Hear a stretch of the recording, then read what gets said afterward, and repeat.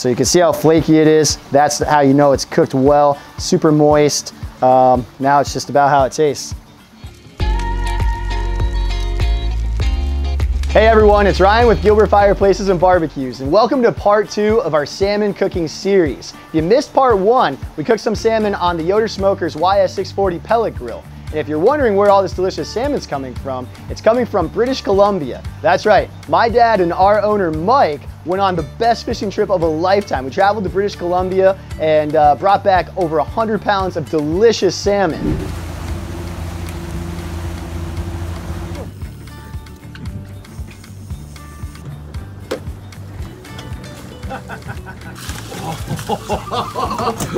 Whoa!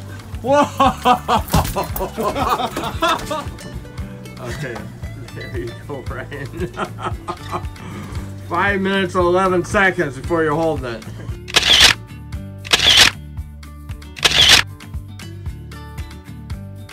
It looked pretty sweet, huh? Let me tell you, it was the trip of a lifetime. We had a great time. And with all that awesome fish we brought back, we wanted to prepare it in a few different ways. So today what we're gonna be doing is actually grilling that salmon on the Kamado Joe Classic 3 cooker. We're gonna be grilling it on an alder wood plank on one half of the grill and a soapstone on the other half of the grill. One of the beautiful aspects of the Kamado Joe cookers is that you could actually divide the cooking system and be cooking direct and indirect at the same time and using different utensils and different racks to cook your food. So today we're gonna show you how to do some of that. Let's get going. All right, so the first thing we're gonna do on this is just load this up with charcoal. The Kamado Joes are charcoal units, so that's the first step, getting it loaded, getting it started. So let's open this thing up and get it going. The other thing you'll just notice is I hit that latch. I love on the Kamado Joes how they have this latch. It keeps the grill airtight, locks in all that heat, all the smoke, all the moisture of your food. It's a great design by Kamado Joe. So I just wanted to touch on that before we get this going. Now let's get started.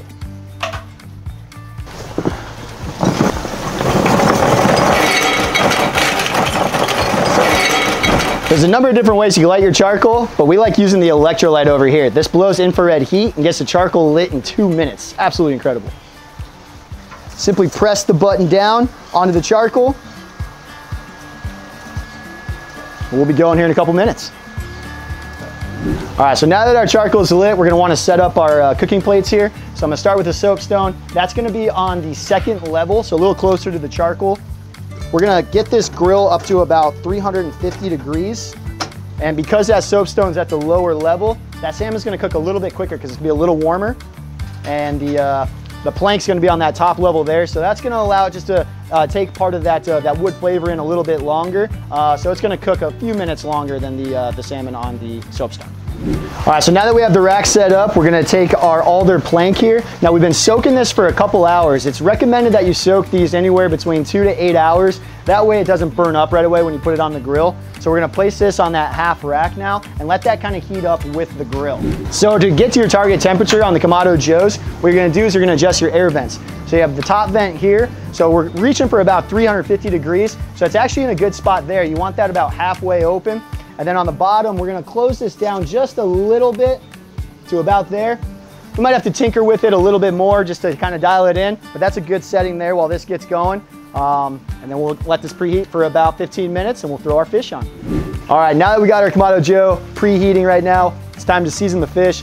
I love salmon because it's so simple. So basically what we're gonna do is we're gonna put some oil on it, then we're gonna season it with two different seasonings today. Two of the fillets, we're gonna use John Henry sugar maple seasoning. The other two, we're gonna use John Henry's orange dill seasoning. The sugar maple fillets are actually gonna go on the alder plank. The reason we're gonna put that on the alder plank is because it's just gonna be a little sweeter. It's gonna take in a little bit more of that smoke. It's gonna be more of like a rich kind of flavored salmon.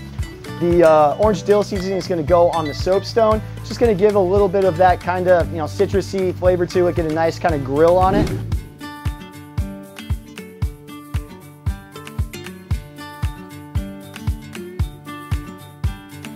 All right, so we're gonna season the first two with the uh, sugar maple seasoning. Um, this fish is beautiful. It was such a great experience out there in British Columbia. We got out, we had never done it before, and uh, we got out on that first day, and uh, we had a guide, he was a great guide. He uh, got our lines out there, and within about two minutes, we had 25 pound Chinook salmon on both of those rods. It was incredible. We were just kind of kind of freaking out, you know, when the uh, when the salmon hit, and we uh, we jumped up and you feel all the weight and the force behind it, and uh, it was a real thrill. to be out there for uh, that short period of time and to both be reeling in fish. It was absolutely incredible. So the next two, we're gonna use our orange dill seasoning. That first day, we, uh, we went on to catch about eight more salmon. We went out for two more days, caught our limit both days. It was absolutely incredible experience that neither of us will ever forget. It's great. All right, so we have our uh, Kamado Joe up to temperature here. Let's get these bad boys on.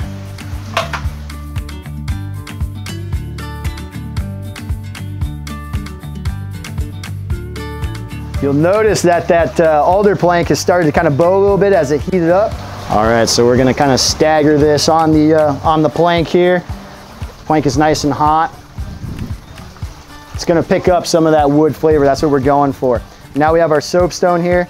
Soapstone's gonna be a little hotter than that plank is, but we're putting these skin side down. We left the skin on. So what's gonna do is it's gonna sizzle. You're hearing it sizzle already. It's gonna sizzle that skin, so you're gonna get a little crispier skin. So that's gonna be nice. We have two different salmon experiences here in one cook. So that's really cool. That's why the Kamado Joe is such a nice cooker.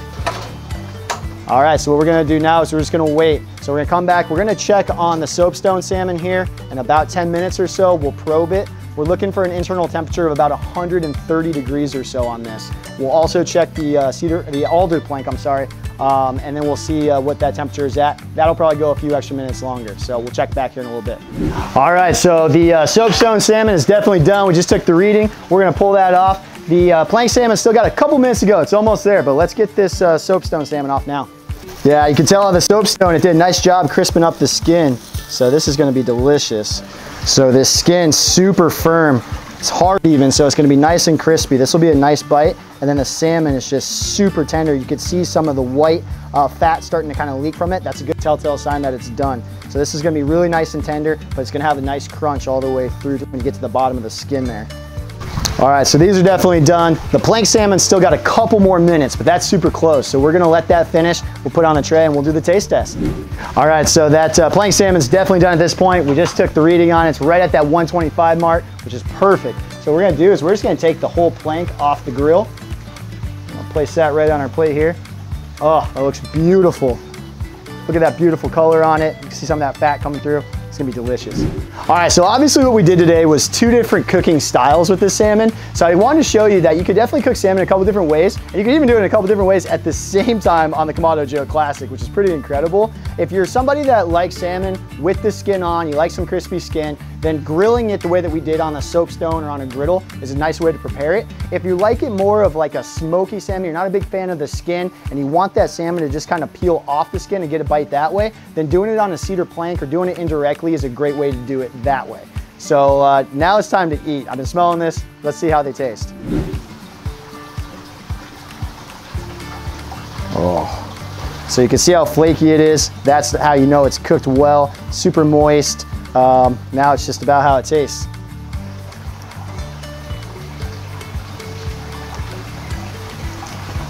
That's pretty good.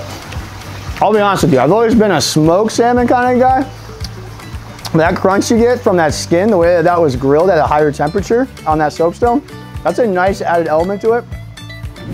All right, the salmon on this alder plank's got a lot to live up to after that soapstone salmon. That was absolutely incredible, but uh, I'm more of a sweetie kind of guy when it comes to like my seasoning, so this would be a little sweeter, a little bit more, uh, more my speed. So let's just see how it is. Oh wow, you can see all the fat kind of dripping from that. Ooh, that's gonna be good.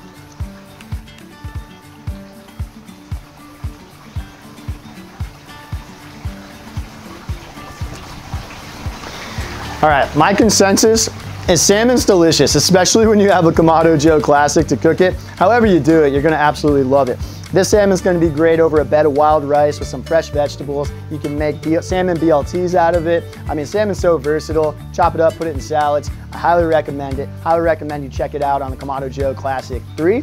Well, this salmon was absolutely delicious. Thank you guys so much for joining us for part two of our salmon cooking series. Um, at this point, I don't know if the smoked salmon on the Yoder pellet smoker was better than any of the salmon we did today on the uh, Kamado Joe Classic 3. All I know is it's all awesome. It really helps to have a cooker uh, like the Kamado Joe Classic. So thank you so much for joining us. Look out for part three of our salmon cooking series where we're gonna be cooking on the Cook and Dine Teppanyaki griddle. This is Ryan with Gilbert Fireplaces and Barbecues, where indoor comfort meets outdoor entertaining.